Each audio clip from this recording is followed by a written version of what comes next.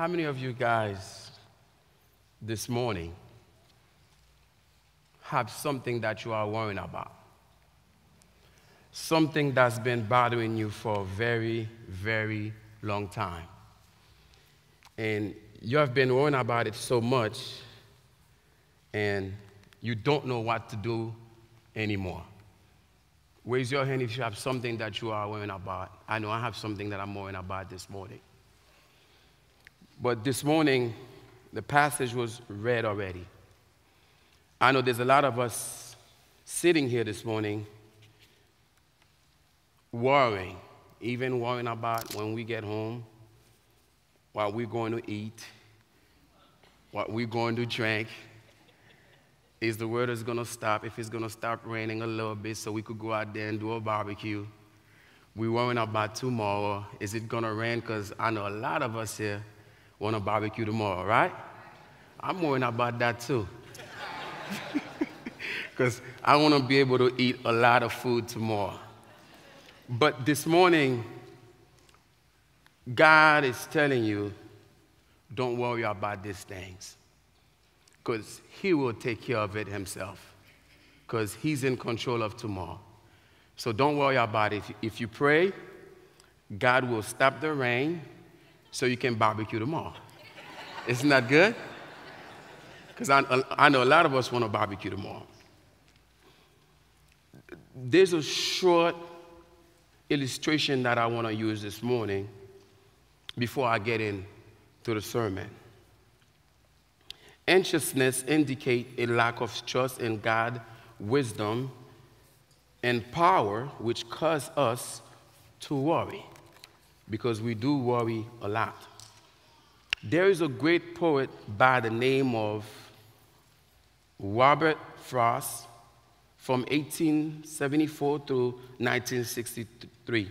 He wrote, The reason why worry kills more people than work is because more people worry than work. is, isn't, isn't, that, isn't that the truth? And, and, that, and that's serious. Seriously, worry has become an American pastime for many people. Worry has become so ingrained in the, pers- in the personality that once the old worries are gone, they search for a new one. Isn't that something that we do every day? We were worrying about one thing, God take care of it, so we bring a new one to God that we want to worry about.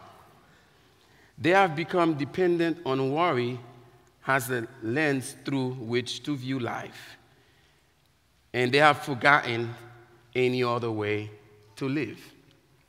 But when I was reading that quote, I stopped and think a lot about it because that's something that I've done so many times in the past myself where I worry so much. Some, I pray and I ask God to open doors for me. He opened that door, and next thing I'm, I'm bringing something else to God. I'm worrying about something else. But this morning, God is telling us not to be worried about anything. And the number one thing that we're going to talk about, Jesus uses the word worry six times, and he specifically emphasized don't worry three times. Jesus against high anxiety, and it is unhealthy to worry. Because worrying, it's a sin. We can say that. When you worry what you do, you committing a sin without even knowing that. So that's the reason why God is telling us, do not worry. Because when we worry, we, we are sinning.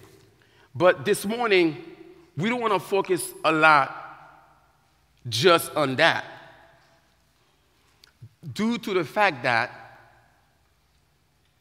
is it not life and body more important than food and clothing? Life and body are certainly more important than food and clothing. We find that in Romans 8:32 also. Who provide for our life and our body? God does. God is powerful enough to create life, God also able to provide food and clothes to sustain for our life. Isn't God able to do everything that He promises? Because He, he makes that promise that He is able to take care of everything in this world because He created everything in this world. So therefore, He's telling me, I'm going to talk to Wilson this morning. He's telling Wilson not to worry. So therefore, my job and my responsibility is not to worry. When we look at the birds of the air, are you not more valuable than they are? A, the birds are an example of God's ability to provide through God's providence working in nature. God provide for their needs. This does not mean they do not work for their needs. The birds are always busy gathering food, preparing nests, caring for the young ones. We are certainly more valuable to God than the birds, than the trees, a matter of fact. We are worrying all the time how and when God will deliver us, and when we are going to find food to put on the table. But this morning, God tells me and telling you, you don't have to worry. He wants you to be worry free. If there's anything that you can get from this sermon this morning, God is telling you not to worry. Because again, we're going to go back and say, because worry, it's a sin. Jesus promised us that he will meet all of our needs because He cares for us. Jesus also tells us not to worry about our life, what we are going to eat, drink, and what we are going to put on our bodies. He tells us that. He tells me not to worry. What about you this morning? What is it that you are worrying about so much that's stopping you from getting to the kingdom of God? that is stopping you from seeking God's kingdom first. Worry is when you cannot do something, but you don't leave it up to God to take care of it for you. Because a lot of us at times does that. We worry so much and we don't leave it up to God to take care of it. But God wants to tell you this morning don't worry about yourself, but worry about me. God wants to tell you if you leave it up to me, I will take care of it. Because when you worry, you basically saying that, God, I'm going to take care of it myself. That's what this is saying to you. When you cannot do something at time, you have to learn to leave it up to God to take care of it. Because we cannot take matters into our own hands. We cannot carry the weights by ourselves. We have to bring it up to God. Again, you are more valuable than the birds. Why? You were created in the image. You were redeemed by the blood of his son. Why? Then let concern over physical need distract you from what is really important in life. Imagine God created me, Wilson, in his own image. Isn't that great? He created me in his own image. He created Pastor Brian in his own image. And every single one of you guys were created by God. That's the reason why he made me so handsome and look so good. because he created me in his own image. The birds, yes, he created them. The trees, yes, he created them, but not like me. I'm good looking, handsome, just like Pastor Brian and um, Dr. Hill, he's buff because he works out. You know, he walks like a robot. Because, because he works out. So therefore, because God created us in his own image, why should we worry? Not only that he created us in his own image, and he's telling us not to worry, but Jesus also made a promise. He said that we will meet, he will meet all of our need because he cared for us.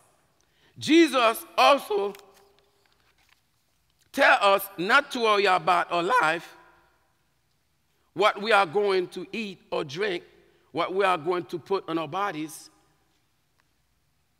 And he also tells us one thing that we cannot serve two masters at the same time. You can never serve two masters at the same time. You only can serve one person at a time. And the reason why he said that, we cannot serve money and God at the same time. It's, it's impossible because you only can do one thing at a time. And when we go and we consider the lilies, won't God provide for you also? Other examples of God's ability and willingness to provide, like we find in verse 6, like the birds in the air, look how they grow. Will find any toil, whatever on their path, or any care bestowed on them by any human being. God is the only one that can do that for us. Not only that, there is two reasons God says that we shouldn't worry. Those two reasons, He tells us first, the, the Gentiles uncovered eagerly seeking those things. In Jesus' time, the pagans were pursuing food and drink and clothing. The reason they were seeking those things is because they didn't know God. The pagans were tormented by worry because they believed that their future was in the hand of fate and fortune. Because us, the pagan, the unbelievers, the Gentile, they didn't know God. So they had no one else to take care of them. So the only thing they had was seeking for food and clothes, seeking for things on their own. But this morning, since we are believers and we are men and women of God, God is telling you and me not to seek for food first, but seek first his kingdom and his righteousness. The Gentiles didn't know God. So therefore, they had to search something. Someone had to feed them. So they looked for food on their own. But due to the fact that you and I have God in our life, we don't need to seek for this thing on our own anymore because we have God in, ahead of us that's seeking for this thing for us. So therefore, when we seek in those things, we have to remember that God is always in control. God is always in control. So if you go in your own, start seeking things in your own, basically you saying, God, you don't care for me. But God is not saying that. God does care for you this morning. I know there's a lot of things we, we worry about on a day to day basis. But guess what? The more you worry, the farther you stay away from God. It's just like going backwards, a step at a time, a little bit at a time. It's in your step by step when you're walking away from God. The more you worry, the more you stay away from God because you're going backwards. But God does not want us as believers to go backwards. He wants us to go forward because God don't go backwards. He don't go to the side. He go forward. So why not go forward with God? And the only way we're going to get forward with God is not for you and me not to worry. The second reason you shouldn't worry, Your heavenly Father knows that you need all these things. We are His children, worried every day about whether He's going to feed and clothe us. How do you think this make Him feel as a father? As an earthly parent, imagine how you feel when your own children question your ability to provide for them. Imagine that. Imagine how would you how would I feel when Ahijah comes to me, which is my oldest, say, Dad, I'm hungry. And I say, I'm gonna take care of you. But yet, I fail him. When, when Pastor Brian said, Hey, Mark, I'm gonna take care of you. But Pastor Brian forgets to take care of, of Mark. Pastor Brian forgets if Mark is hungry, right? I'm seeing Mike up front. He forgets if his grandchildren are hungry. But God will never, ever forget about you, and He will never fail you. Because we depend on God as believers to take care of us. So, therefore, we must depend on God at all times. Not to depend on the world, but depend on God. When you worry about saying, God, I don't know about you, when you worry so much, I'm not sure, God, if you care enough for me. I'm not sure you're going to provide for me. You are good for church on Sunday, but I'm not sure about you helping me. So I'm going to take care of myself. That's what a lot of Christians do these days. They say, God, since you don't want to take care of me, so I'm going to take care of it myself.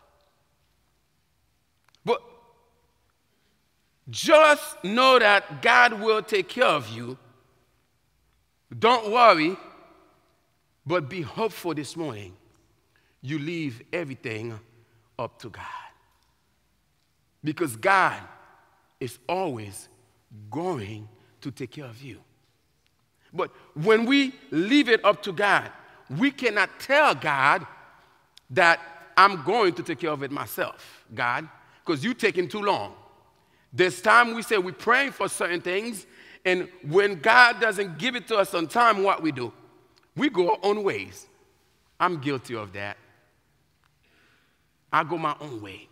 But if we let God be God, if we let God take care of us, we won't have no worries because He made a promise.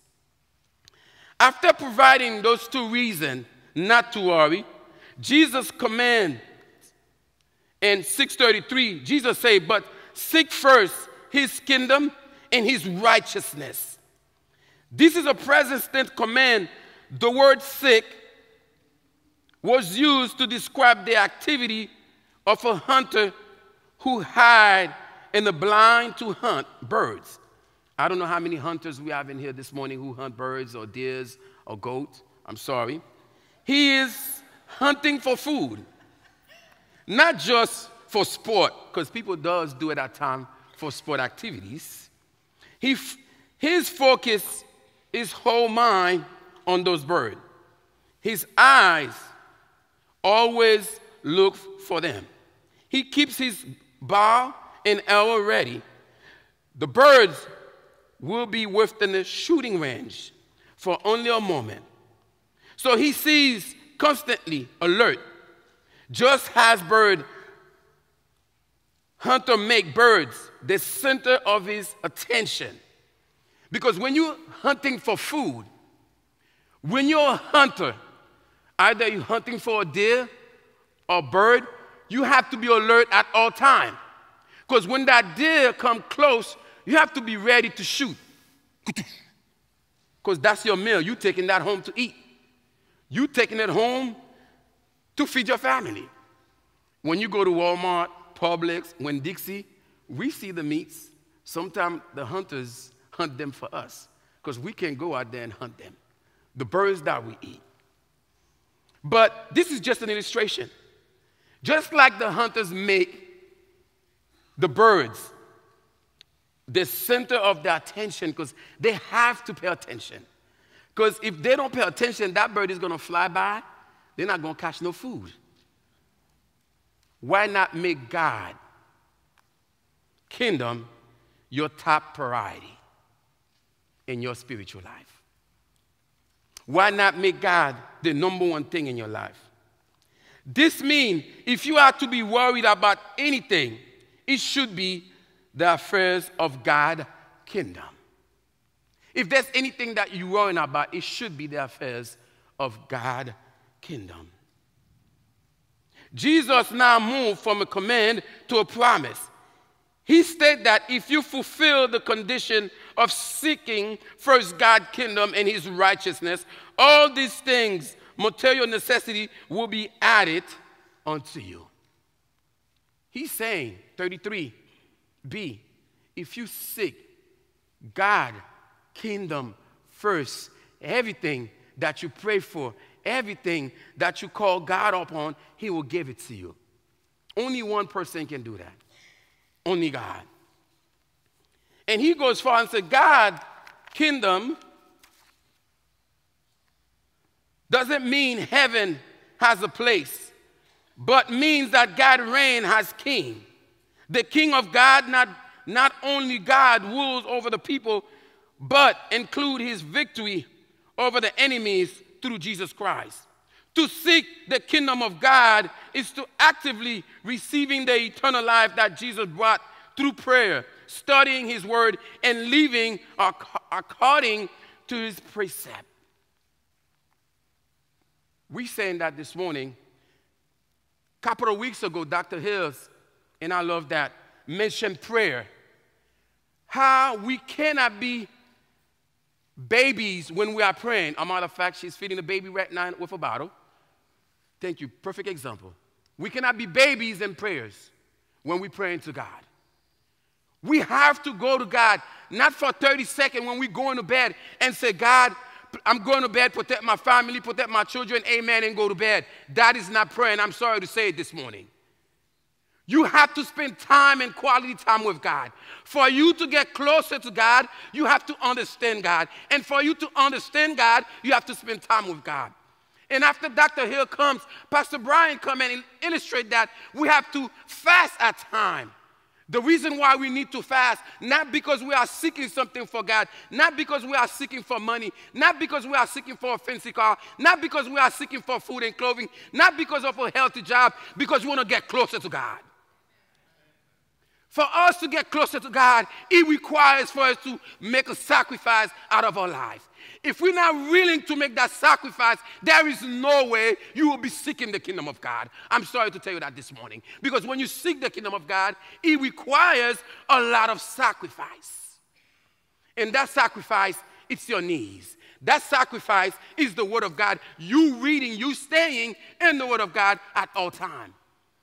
A lot of us fast only when we are in need of something. But this morning, we have to go the extra mile. Seeking God's kingdom requires a lot, a lot of prayers. Seeking God's kingdom requires for us to remain in the Word. Make God will your number one priority. Seek first the kingdom of God. We must make the will of God the number one priority in our life. We do this by serving God instead of material things, letting the lamp of our body be the eyes. That's what happens when you're seeking God. Because when we seek God, we get closer to God. I'm not saying that you're not going to have problem when you're seeking God, yes. And I can testify to that. The more you pray, the more problems come your way. The more challenges come your way. But if you remain eh, if you remain in prayer, you remain in the words, yes, trouble is going to come your way. Tribulation is going to come your way. But just remember that God will take care of you. God will take care of you. And we moved on. Today has enough trouble to worry about. Verse 34. We are not capable of handling tomorrow worries. We are we have no control over the future. And worrying about the future only distracts us from duties of the present. Today, problems are all that we have. We are capable of handling without becoming distracted.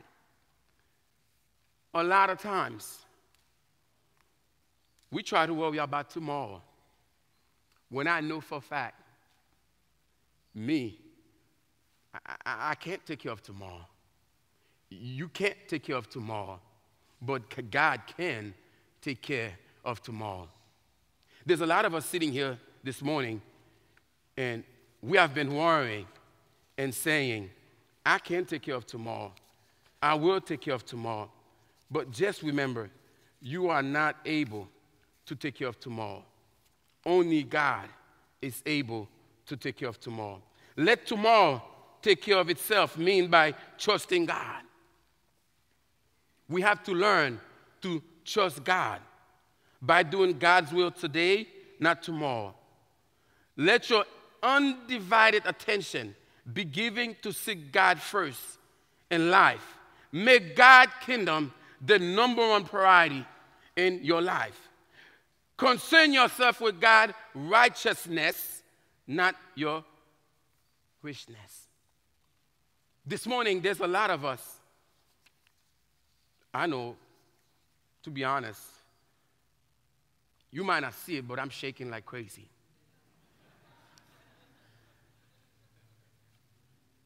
I was worried a lot.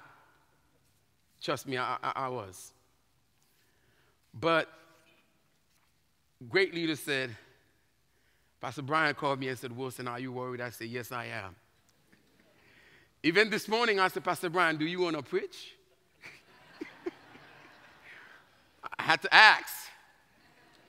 If he would have said yes, I said, Thank you, God. That's something I was worrying about. But when you leave it up to God, He takes care of it. But before we end, there's a few things that we would like to illustrate this morning.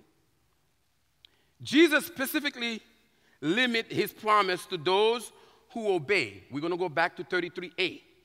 Rather than a blanket promise, this is a conditional promise that apply to disciples who are sold out to Christ.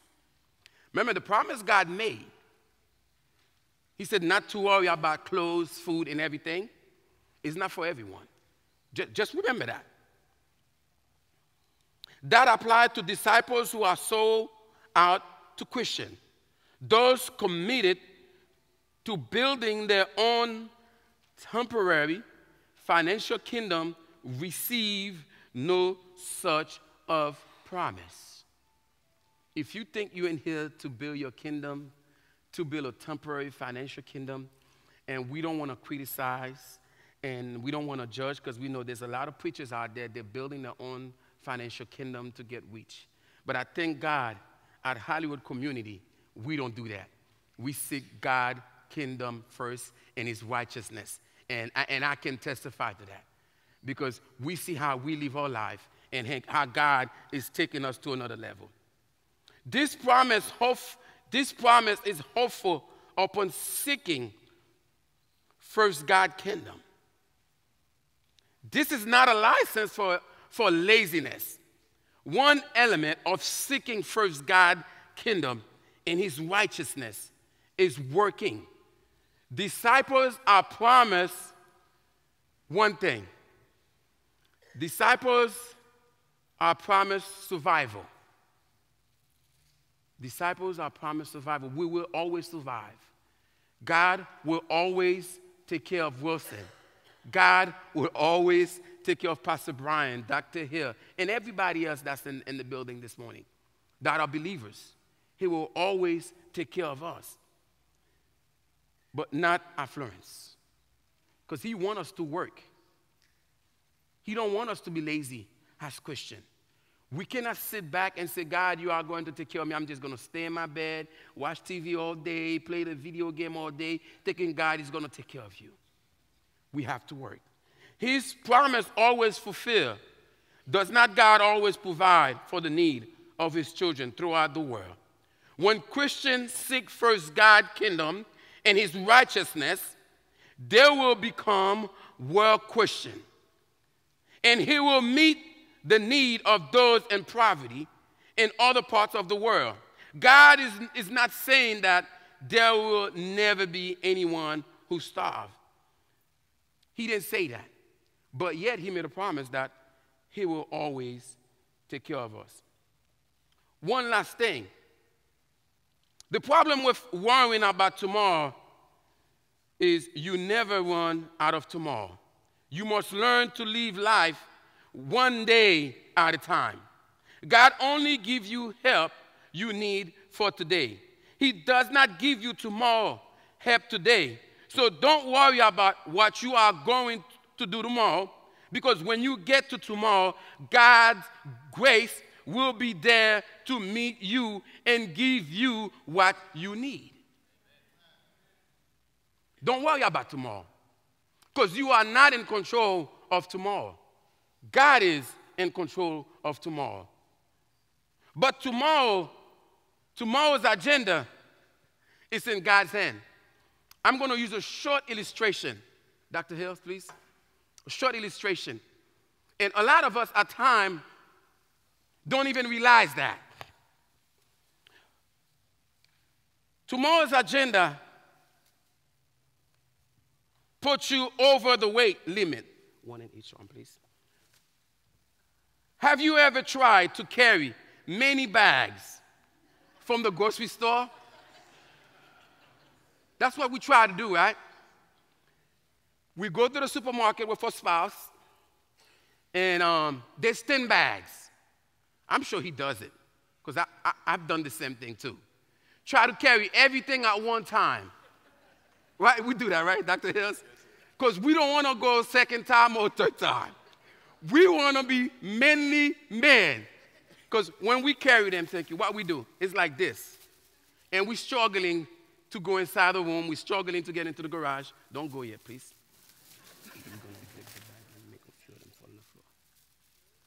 Okay? So, what happened at times, we carry so much weight on ourselves due to the fact that we don't let God take care of it. This time when we come from the grocery store, it should have been 10 trips. If we have 20 bags, one in each hand, maybe 20, 20 trips, maybe six, maybe five, depending how many you are. But due to the fact that we try to be manly at times, and we have 20 bags in our hands, one for, another for. Hopefully, these are canned goods. So, so, and hopefully, they're not a jug of milk or orange juice. It happens to me before. I'm going to testify to that. Thank you, Dr. Hill. Let's give him a hand of applause. The reason why I use this illustration this morning is because there's a lesson. Don't carry too much baggage at once. Learn to make multiple trips instead of one. Jesus tell you to carry today bag today and make a fresh trip tomorrow. That's the lesson here. Yes, we are laughing, but not understanding the concept to it. What do we do every day? We spill things all over. We try to carry 10 things at a time, and we walk in, we try to run to put it down. The OJ fell. Oops. Or we break the eggs. The next morning, we don't have breakfast. But God is telling Wilson this morning, I don't have to make one trip to God. I could go as many times as I can. This morning, I'm going to ask you a question. We're finished. What is it that you are worrying about this morning? Ask yourself that question. I want you to take a, a, just a few seconds of your time and say, God, if you don't know what you're worrying about, there's a man who knows exactly what you're worrying about. I'm sure some of us have more than one thing that we are worrying about. I have a lot that I'm worrying about this morning. There's a lot. But there's one thing that I need to know this morning is not to worry and let God take control of it. By the same guy, Robert Frost, he, he will I love his comments. He said, One morning, Death was walking into a city when a man stopped him and asked what he was going to do today. Death answered, I'm going into the city to kill 10,000 people. The man replied, That's terrible that you would kill 10,000 people. Death responded, Taking people when their time has come is my job. Today, I have to get my 10,000. Later, as death was coming out of the city, the man met him again. He was very furious, mad, angry, frustrated. He wanted to kill death. You're going to ask me why? You told me this morning that you were going to kill only 10,000. But coming out of the city, 70,000 died. Today, death said, Well, don't get mad at me. Don't kill me. I only took my 10,000.